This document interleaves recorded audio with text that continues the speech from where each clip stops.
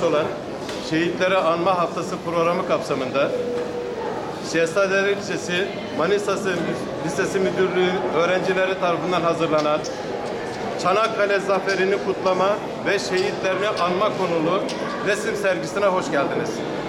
Tamamen öğrencilerimiz tarafından hazırlanmış olan bu resim sergisinin açılışını yapmak üzere Valimiz Sayın Erdoğan Bektaş'ı arz ediyorum. Adetim var ama makasımı alırım. Müsaade, müsaade ya. Sen nasıl sahibiyle konuş. Hadi hayırlı olsun bakalım.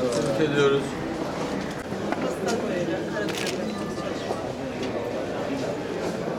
Çanakkale'yi gördün mü çocuklar?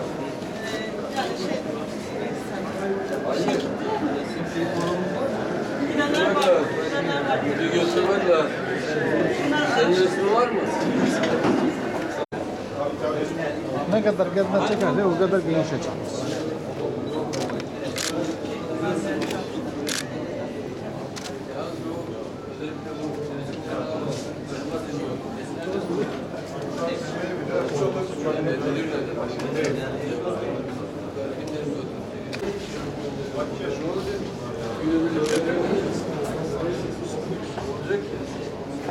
Evet, senin de resmin var herhalde.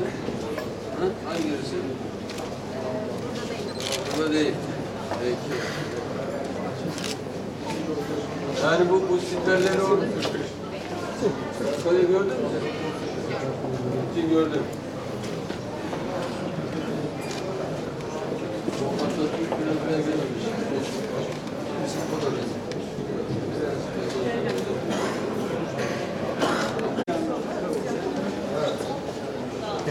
Abi, gel abi. Anlamadım ki ben.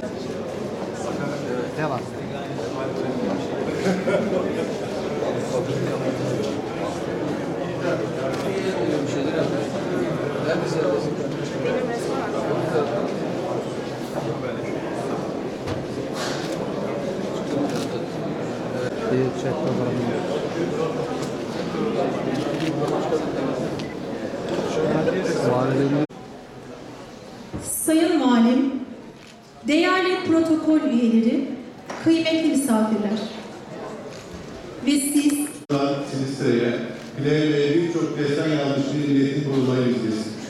250 bin vatan evladının şehit olduğu bir kahramanlık destanı olarak Türk ve dünya tarihinin altın harfine yazılmıştır. 19. Tümen Komutanı Mustafa Kemal Atatürk, Sümrükar emrini vermiş ve yıllarca Türk ulusunun hafızasına silinmeyecek ben sizi taarruzu emretmiyorum, ölmeyi emrediyorum. Biz ölünceye kadar geçecek zaman içinde yerimizi başka kuvvetler ve komutanlar geçebilir sözlerini söylemiştir. Böylelikle tarihin en büyük siper savaşı başlamıştır. Düşmeyen sancak, 57. alayı, Sessiz Gecenin kahramanı Nusret Mayın gemisini, Gizli Dağı'nın başrol oyuncusu Mesut Yazarısını, Çoğuk Bayır'daki şanlı direnişi, insanlığın savaşı yenildiği bilim oluyor. Efsaneleşen Koca Seyit'i, Yiğit Yahya Çavuş'u, Küçük Kahraman Aleko'yu ve Kınalı Ali'yi kim tarih sahnesine sevinir ki?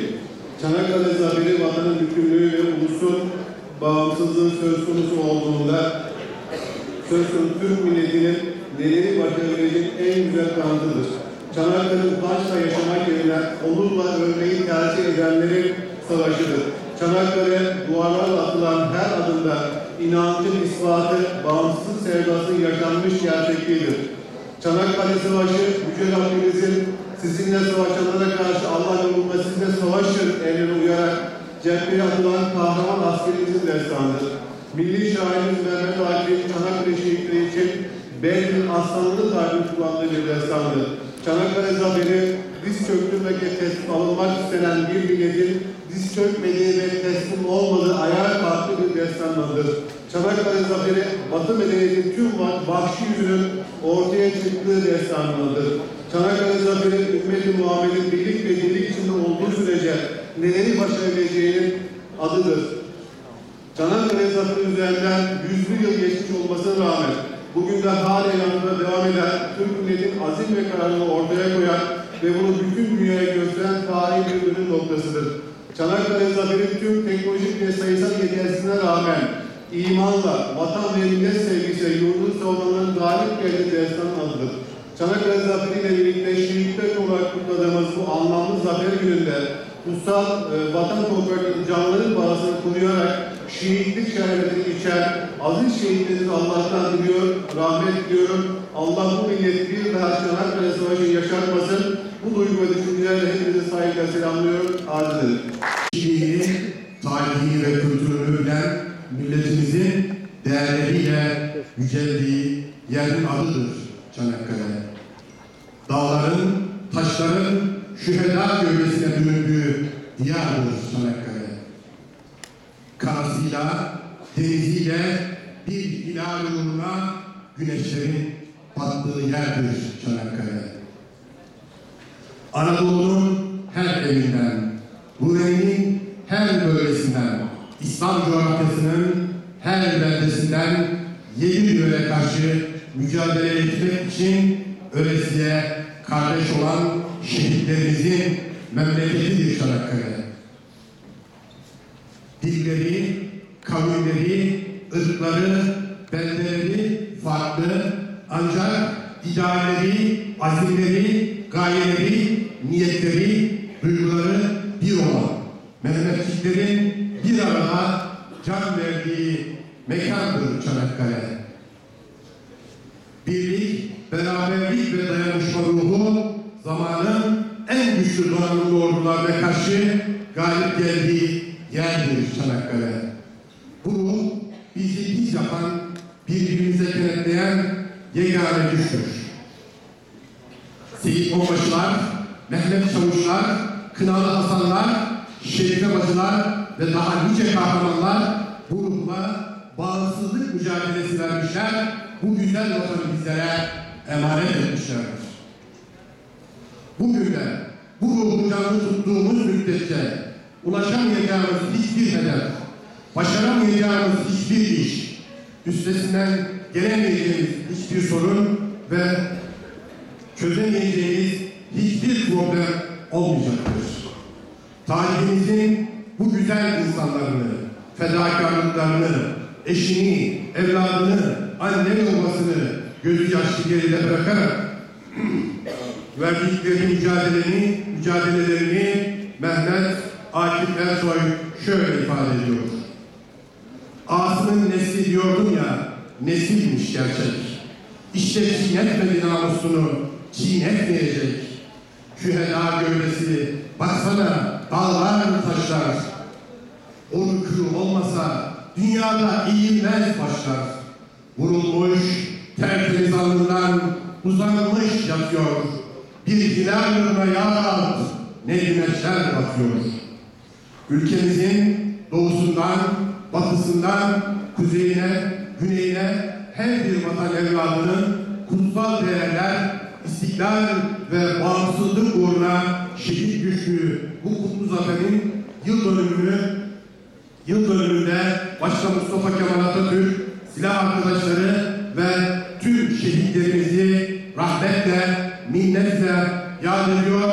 Hepinizi saygıyla selamlıyorum. Gençlerimiz bir 18 Mart gününde daha beraberiz.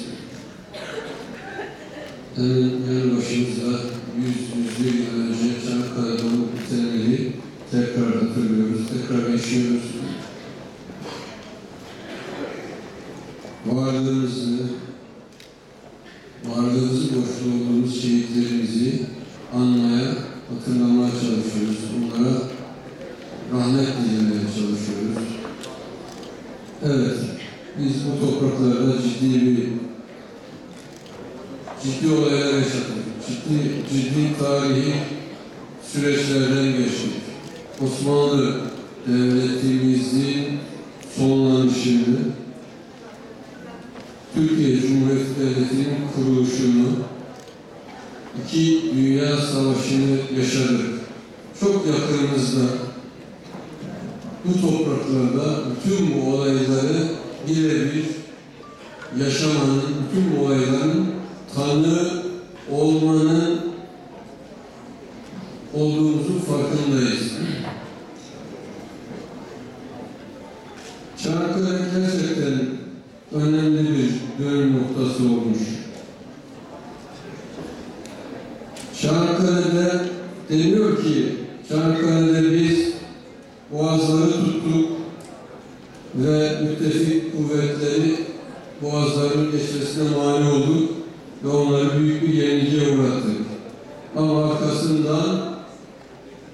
biliyorsunuz İstanbul'da o müttefik kuvvetler dediğimiz ülkelerin mensupları geldiler. Geldiler. Ama duramadılar. Bunu da biliyoruz. Çanakkale aslında bizim milletimizin bu topraklardan çıkarılamayacağını herkes tarafından kabul edildiği olayın adıdır. Çanakkale bir dur noktasıdır. Orada dost düşman herkesin kafasına yer etmiştir ki bu millet bu topraklarda kalıcıdır, ebedidir. Bu daha önceden biliyorsunuz bir kısım hayaller vardı. İstanbul'u alacaklardı, Anadolu'yu alacaklardı. Bizi geldiğimiz yere göndereceklerdi. Çanakkale'den sonra bu hayallerin sona erdiğini, artık tekrarlanmadığını, kimsenin de böyle hayaller kurmadığını biliyoruz. Çanakkale'de bizim atalarımız bunu bütün dünyaya yaşatarak öğretti. Herkes orada o dur noktasında olabilecek olanı anladı. Ondan sonra İstanbul'a da gelse, İzmir'e de gelse, Manisa'ya da gelse, Ankara'da gelse burada duramayacağını bildi ve çekti gitti. Onun için Çanakkale çok önemlidir. Onun için Çanakkale'yi bilmemiz gerekiyor. Onun, onun için Çanakkale'yi anlamamız gerekiyor. Hele ki Manisa gibi yakın bir coğrafyada Çanakkale'yi görmemek, Gelibolu sırtlarında dolaşmamak, o mevzilerdeki havayı teneffüs etmemek kabul edilebilir bir şey değil arkadaşlar. Ben bizim insanımızın, bizim milletimizin, bizim çocuklarımızın her bir tanesinin mutlaka Çanakkale'yi görmesi gerektiğini düşünüyorum. Orada o yaşadığımız tarihi dönüm noktasını hissetmemiz gerekiyor. Orada dostlarımızı ve düşmanlarımızı yaşayarak tanımamız gerekiyor. Bakınız, ülkemizin içinde kısım sıkıntılarımız var. Ülkemizin dışında daha büyük sıkıntılar var. Ve ülkemizin içindeki sıkıntıların çoğunun kaynağı ülkemizin dışındaki sıkıntılar. Ve Suriye'de şu son birkaç ay içerisinde olup bitenler bizi tekrar nereye götürdü biliyor musunuz? Çanakkale şartlarına götürdü. Çanakkale'deki tarafları bir daha hatırladık. Çanak, Çanakkale'deki görülen rüyaları, kurulan planları bir daha bir daha gördük. Çanakkale önümüzde bir ışık olarak varlığını devam ettirecek. Çanakkale'den öğrenecek çok şeyimiz var. Çanakkale'deki dersin bedelini çok ağır ödedik. Faturayı bizim milletimiz ödedi. Çok ağır bir bedel ödedi. Çok, çok sayıda şehidimiz oldu. Ve çok kayıplarımız oldu. Fakat orada kötü gidişe dur dedik. Ve ondan sonra yeniden başladık. Ve şimdi biraz palazlanınca, biraz gücümüz, kuvvetimiz yerine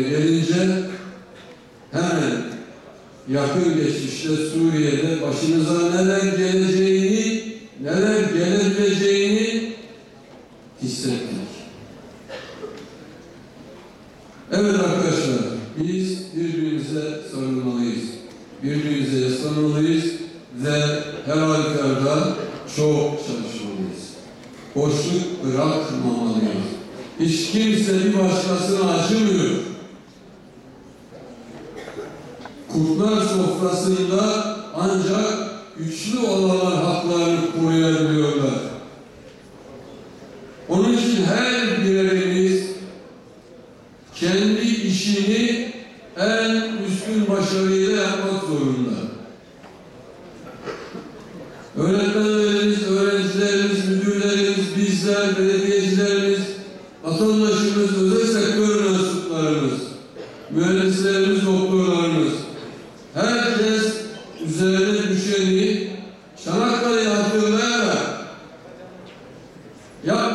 başımıza neler gelebileceğini varsayarak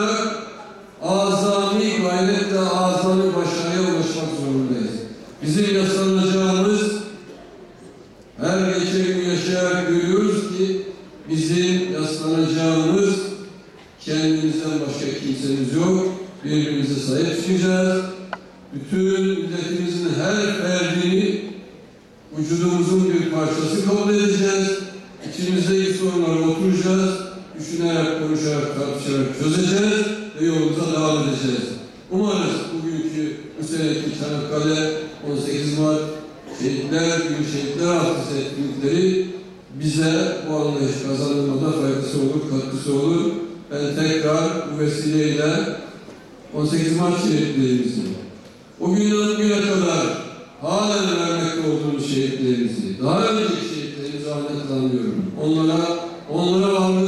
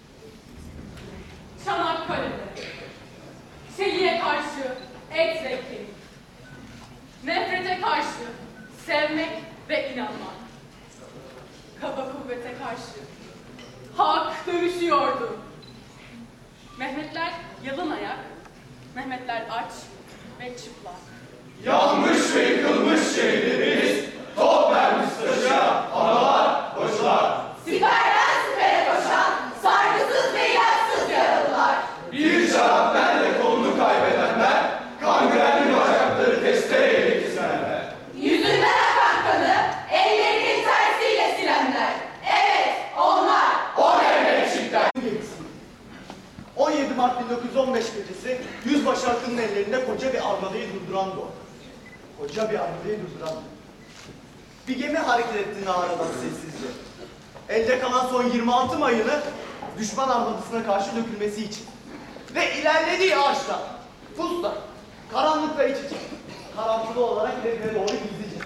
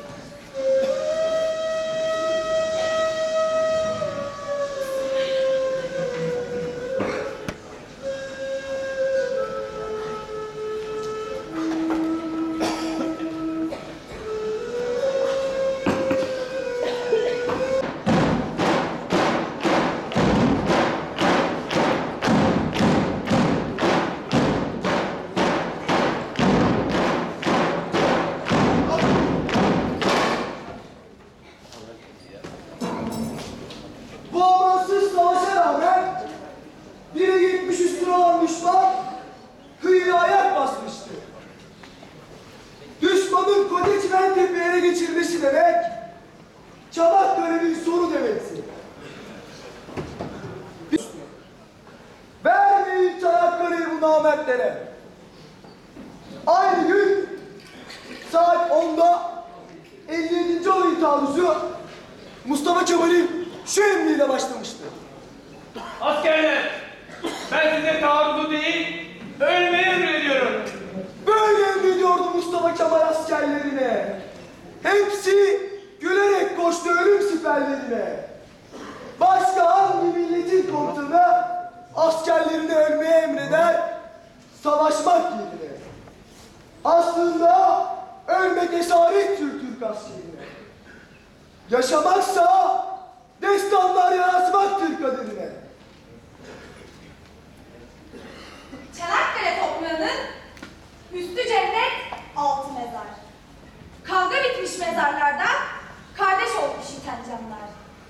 Bir garip savaştı Çanakkale. Kızıştıkça kızgınlığı dindiren, ara verildikçe ateşe, düşmanı kardeşe döndüren bir garip savaştı. Kıyasıya bir savaştı. Ama saygı üreten bir savaştı. Yaklaştıkça birbirine karşılıklı siperler, gönüller de yaklaştı. Düştükçe vuruşanlar toprağa kardeş gibi kaynaştı. Çanakkale toprağının üstü cennet, altı mezar. Kavga bitmiş, mezarlarda kardeş olmuş yiten canlar. Huzur içinde uyusun, vuruştukları topraklarda, kavgadan, kinden uzakta, yan yana dostça yasaklar. Avustralya Genel Valisi olan Casey, 1940 yılında Çanakkale Zaferi ile ilgili duygu ve düşüncelerini şöyle dile getirdi. We left Gallipoli Peninsula by fighting against Turks and by losing thousands of our people and with a great admiration to the brave Turkish army and its unique patriotism. Biz Çanakkale Yarımadası'ndan Türklerle savaşarak ve binlerce insanımızı kaybederek kahraman Türk milletine ve onun eşsiz vatan sevgisine duyduğumuz büyük takdir ve hayranlıkla ayrıldık. All Australians love Mehmetçik like their own child. His self-respect, pat- patriotism, humanity, unbearable stateness, and courage in the trenches, his patriotism which was admired by all Anzacs are great longings, which will be taken as an example by mankind. With my best regards to Mehmetçik. Bütün Avustralyalılar Mehmetçiği kendi evlatları gibi sever. Onun benliği, vatan ve insan sevgisi, siperlerdeki dayanılmaz heybeti ve cesareti, bütün anzakları hayran bırakan yurt sevgisi, insanlığın örnek alacağı büyük hasretlerdir. Mehmetçiğe hürmet ve saygılarımla.